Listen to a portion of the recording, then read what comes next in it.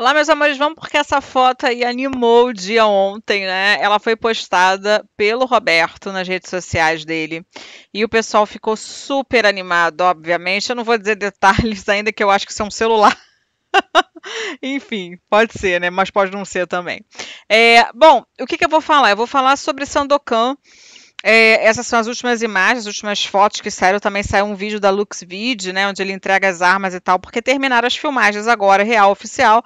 E de acordo com a jornalista Birjane, né, que a gente sempre acompanha, ela falou o seguinte: as filmagens da primeira temporada da série Sandokan, estrelada por Jane Aman, composta por oito episódios que duraram quatro meses de gravações, foram concluídas e será transmitida no canal italiano Rai. A nova versão de Sandokan terá três temporadas no total.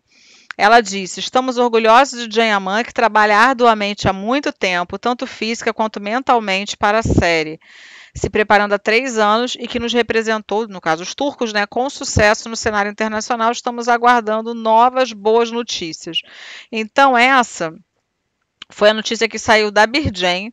Eu vou colocar esse. Eu não sei quem é essa moça, gente, que tiraram fotos, não colocaram. Não sei se é uma pessoa famosa, se era alguém que estava ali, mas essas fotos dele foram de agora e transformaram num videozinho nos stories.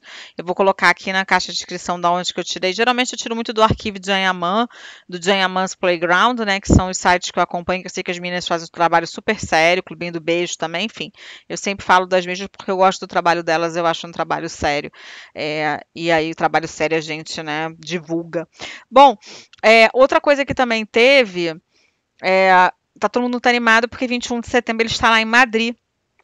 Então também tiveram lives para explicar como é que vai ser o evento, é, outras propagandas sobre a ele, né, em Madrid. Então, né, a gente vai falar um pouquinho mais lá na frente, mas por enquanto, então, as notícias são de que acabou Sandokan, a gente está com esperança, né, que ele volte a fazer tour pelo Diamond Fortune, quem sabe não venha no meu Rio de Janeiro, né, gente? Essa esperança é última que morre. Eu sei que eu já ouvi em São Paulo, mas eu acho que ele ia gostar muito do Rio de Janeiro. Não é só porque eu moro aqui, não, tá?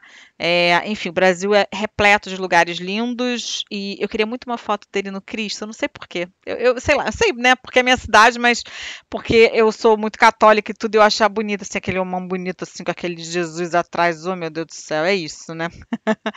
Bom, é, vamos ficar aí com o videozinho dele também e com esse, algumas é, informações, né, e novas propagandas sobre esse evento.